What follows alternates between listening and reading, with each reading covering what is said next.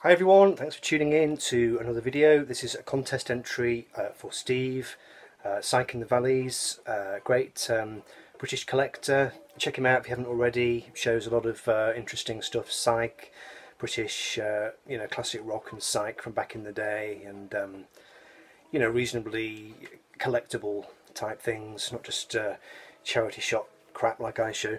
And um, so, yeah, Steve wants us to um, show some geographical records. He's a geography teacher himself. Um, I was lousy at geography at school. I, um, I annoyed my geography teacher, Mr. Loach, so much uh, that um, during one lesson he, he pushed me backwards into a bin. So I actually fell into the bin and he kind of leaned over me and pointed his finger at me and shouted, I hate you, you've been sent to test me.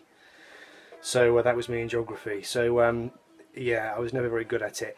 But I've just I've, I've checked the definition on um, on Wikipedia, and uh, because Steve mentioned you know showing mountains and rivers and everything, but I saw a very good documentary, or I heard it on the radio a while back, and I can't remember who it was, but it was some famous geographer who was talking about um, man's impact on the environment, and you know the fact that we can uh, we can see certain structures from space now, you know that have been built, and some of the structures that man has built on the earth will last so long that if we were to go forward a thousand years into the future, you would still see remnants of those um, you know constructions. So uh, you know essentially we have become part of the natural world. Our constructions have become part of the landscape.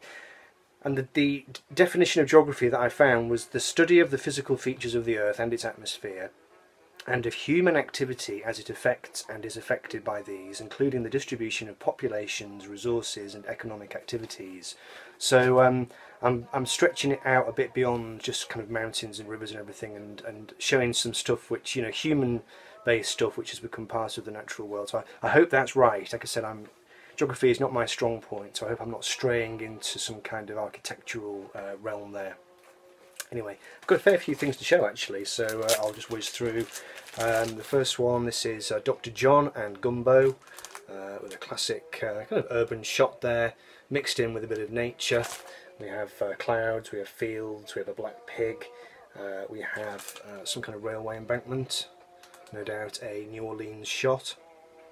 Nice cover. here we have Moustaki, um, French singer-songwriter, and uh, this album is uh, contains some shots of various okay we've got Jesus here but we've got some an aerial shot there of some mountains and, and the sea and that kind of thing. And we have Krishna. So yeah. Partly geographical and partly uh, non-geographical. We have um, Pink Floyd and Atom Heart Mother but the shot that I wanted to share was this one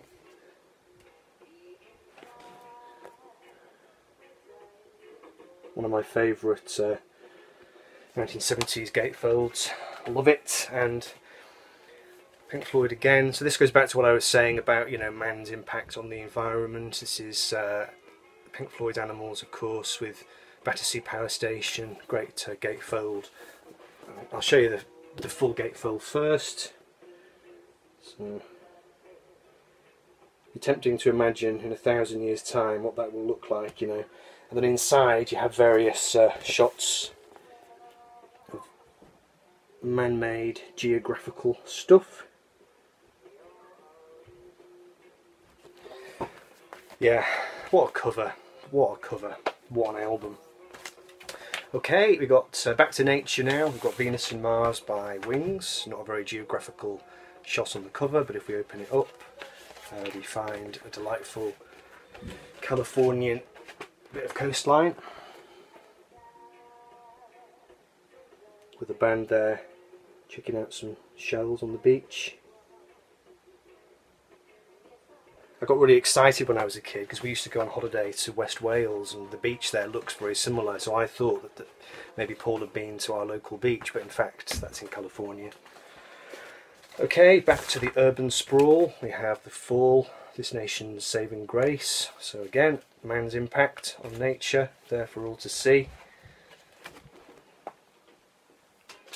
Back to nature again with um, Thomas Dolby and the Flat Earth. You can see Thomas there panning for gold maybe in some kind of waterfall type situation. Quite nice. Um, Tom Petty and the Heartbreakers into the Great Wide Open. Nice kind of mixture of man-made stuff and uh, natural features. Lovely painting.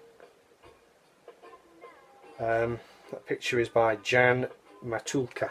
Okay, so yeah, back to the man-made geography again. Alan Parsons, I Robot. This is Charles de Gaulle Airport in uh, Gay Paris. Oops.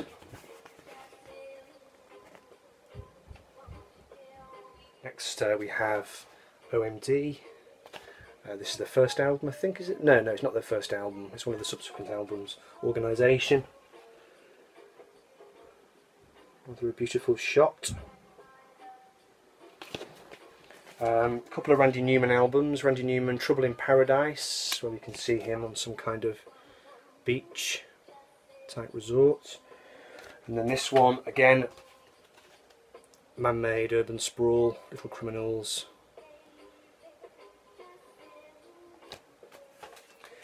There's a complete contrast. We've got uh, Jerry Hall posing on the cover of uh, one of Roxy's classic albums, their fifth album, Siren. Which, uh, yeah, shame it's not a gatefold. But um, a couple of people have already shown Fragile by Yes, but I couldn't resist showing a Roger Dean cover for a bit of fantasy geography. So let's have a, a look. Of course, he was a master at creating these wonderful environments. Another good one, of course, is the um, is the gatefold inside gatefold for close to the edge. I'll let somebody else show that we've got Mike Oldfield and Hergest Ridge, his second album featuring a rather fetching aerial shot. And a nice photo of his dog on the rear. This is a great favourite of mine, this is Wings' Greatest, uh, Paul McCartney and Wings uh, best of album from 1979 I think. Um, but the story behind this is this little figurine here was only about kind of that tall and Paul had uh, a crew of photographers dispatched up to Switzerland to take a photograph of it in the snow. So that's actually a photograph of Swiss snow.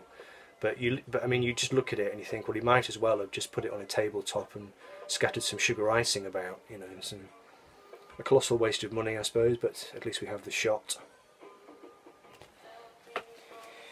Okay, bit of uh, bit of the old krautrock. This is a very shiny album cover. This is Can and uh, Soon Over Babaluma and um, it is actually very shiny but I quite like this one it's kind of labelled up you can't really see there but it's labelled with things in kind of school textbook kind of way um, yeah the actual labellings are just the credits uh, you know who who's in the band and the song credits and so on so there we go great album that classic um, Buggles cover. This is their second album, Adventures in Modern Recording, showing a slightly surreal field with some sky there. And I like this uh, this back cover, which is a kind of almost like a kind of infrared computer version of the front. Very good.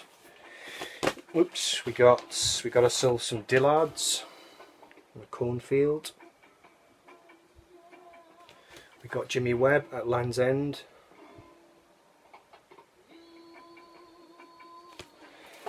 Uh, we've got the Russian composer Villa-Lobos, the Bachianas Brasileiras suite for voice and violin. A lovely jungle shot. Beautiful that, isn't it? The urban one, we have Richard Thompson posing on the banks of the River Thames for his album um, Hand of Kindness.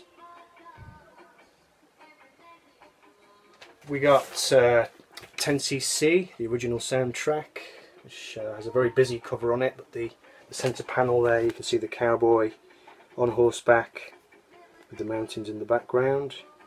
Let's have the full gatefold effect for this. Great cover